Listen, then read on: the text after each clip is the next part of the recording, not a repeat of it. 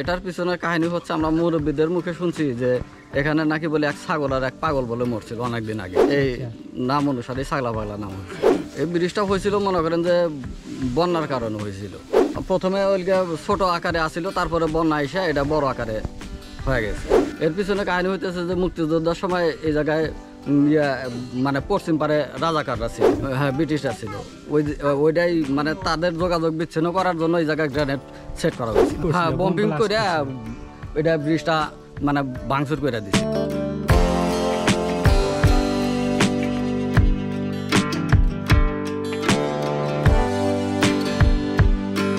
চারিদিকে গ্রামের সবুজ ছায়া আর গ্রামের মাঝখান দিয়ে চলে গেছে রেল লাইনের সোজা রাস্তা।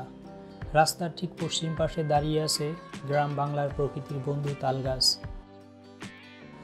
সিরাজগঞ্জ জেলার কামারখন্দ উপজেলা ধার চার নং রায় দৌলতপুর ইউনিয়নের অন্তর্গত রসুলপুর কয়েলগাতি গ্রাম আর রেল লাইন পাদদেশে ছাগলা পাগলা দো অবস্থিত। কথিত আছে, এই দোটি ব্রিটিশ পিরিয়ডে বোমা নিক্ষেপের কারণে উৎপত্তি হয়। চার নং রায় দৌলতপুর ইউনিয়ন পরিষদের রসুলপুর গ্রামের মৌজায় ছাগলা পাগলা ব্রিজ অবস্থিত।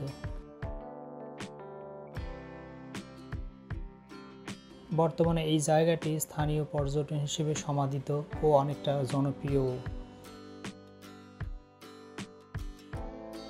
বিভিন্ন দিবস উপলক্ষে এলাকার আমোদপ্রিয় মানুষ মুক্ত পরিবেশে নির্মল আনন্দ পেতে এখানে জমায়েত হয়।